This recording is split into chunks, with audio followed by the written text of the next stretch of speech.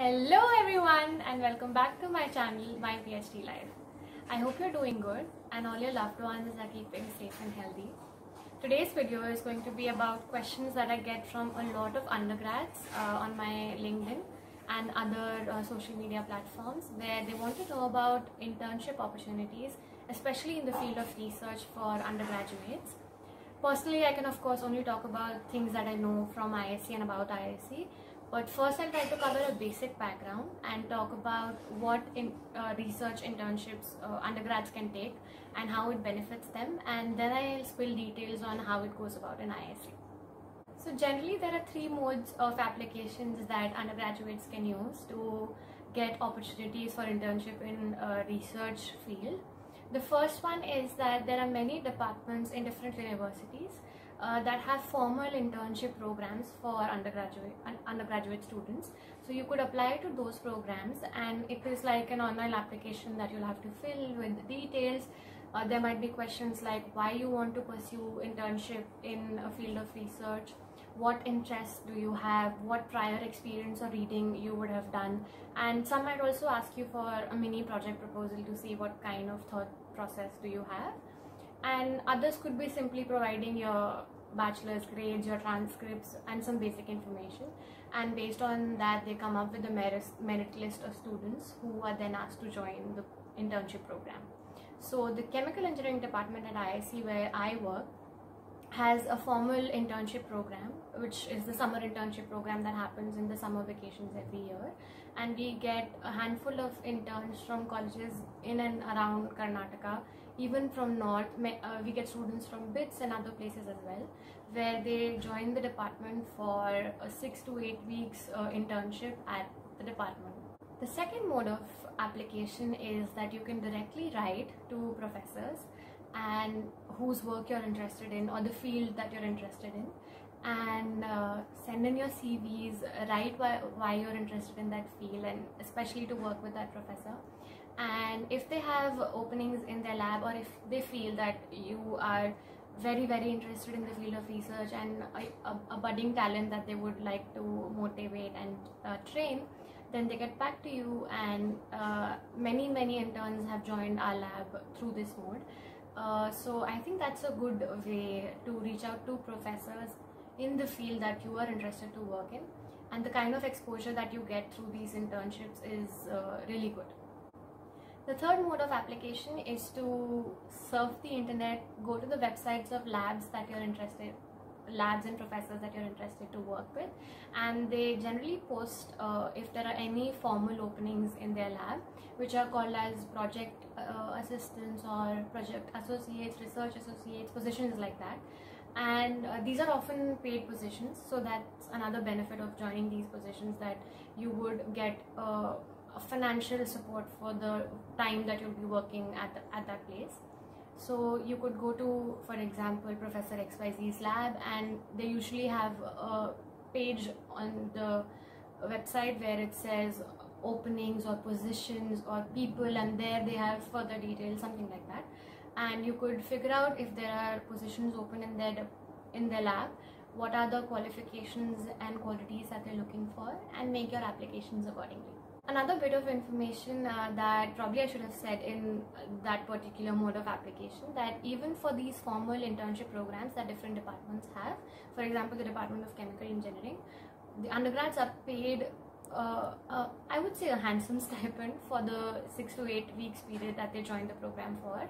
So there would be many other programs that would do so, and uh, obviously everything's out there on the internet, so you have to do your job and look carefully. Now that we've discussed the three modes of application, I think it will be important to talk about the effect that this exposure can have on your development as a researcher or any other career path that you take. I feel that this uh, experience in your undergrad at the end of third year or some people do it at the end of their seventh semester. So they take a six months research project as their eighth semester goal. And that's, that's also how uh, we have gotten interns to join our lab in the past. I feel that this time gives you an exposure to the field of research, what kind of work style it involves, what are the kind of problems that you're expected to solve, how you're expected to solve them, and all the good and the bad, bad parts of the field of research. So, getting this short stint, I feel lets you know whether you have an inclination towards this kind of work style and towards the kind of problems that are being solved in the field that you initially thought that you're interested in. And sometimes people join in one field but talking to peers in other labs and talking to seniors in other labs and professors in other labs in the department that they have joined they figure out that oh there's something even more interesting that i would want to pursue. So even in those terms it just uh, broadens your horizons as they say.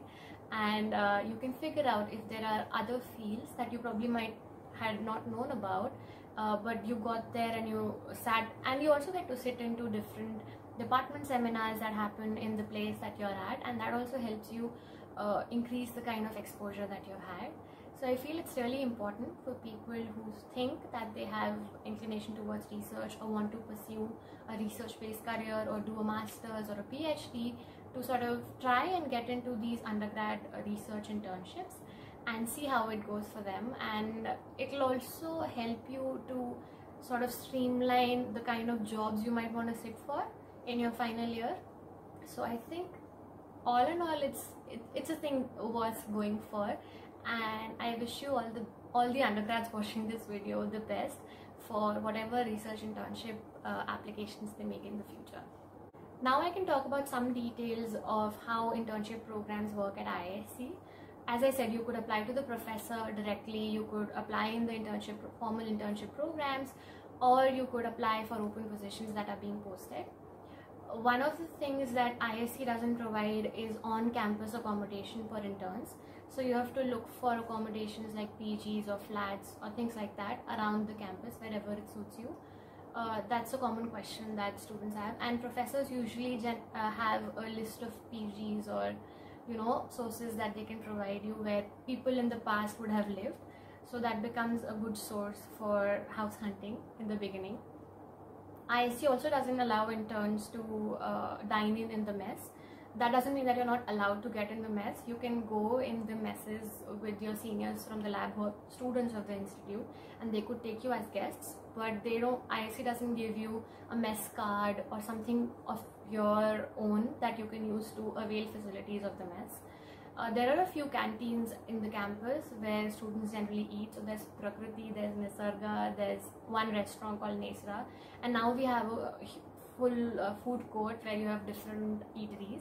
So I think uh, with the new food court coming up, uh, food is taken care of in those terms. As you might know, IISc is a huge campus, so it becomes tiring sometimes to walk around the campus all day long. So there are a few facilities that have now come up in the campus. There were these bounce cycles and scooties that were available before COVID happened. So uh, I don't, uh, I think they'll continue, but I don't know what's the current state during the pandemic and I think the movement is also restricted to make sure that uh, we maintain social distancing and other norms.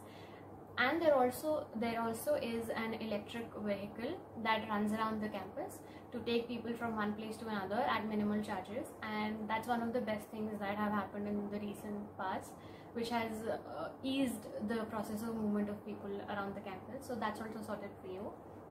We do have a health center on campus and doctors are available uh, throughout the day.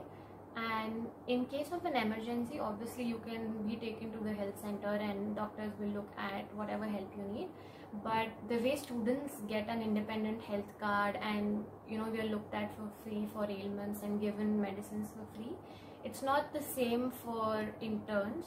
So in an emergency, obviously you'll be taken care of, but you don't get a medi medical support or a mediclaim sort of a thing for a research internship that you join.